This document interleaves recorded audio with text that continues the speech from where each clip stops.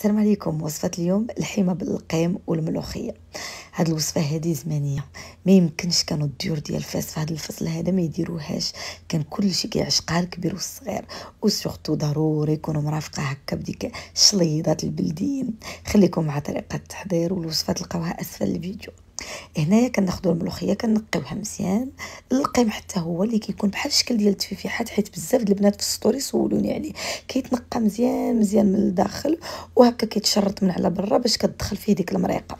كناخذوا هنا المليجات اللي كنصبوهم ونديروا لهم غير شوية ديال الماء ما نديروش الزيت لأن أنا ما سبقليش وحطيتهم في ديك العطرية باش يشربوها. ملي كديروهم غير في الماء كيشربوا ديك العطرية بلا ما تحتاجوا تبيتوهم ولا تخليوهم فيها.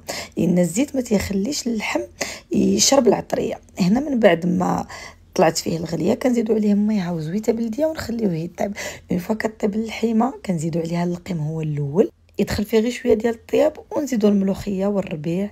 كتجي هكا المريقة بنينة ولذيذة فيها كاع ديك ال mélange de saveurs. ما نقول لكمش كترجعوا للماضي ديال زمان بهاد الوصفة هذه je vous aime وبصحه وراحه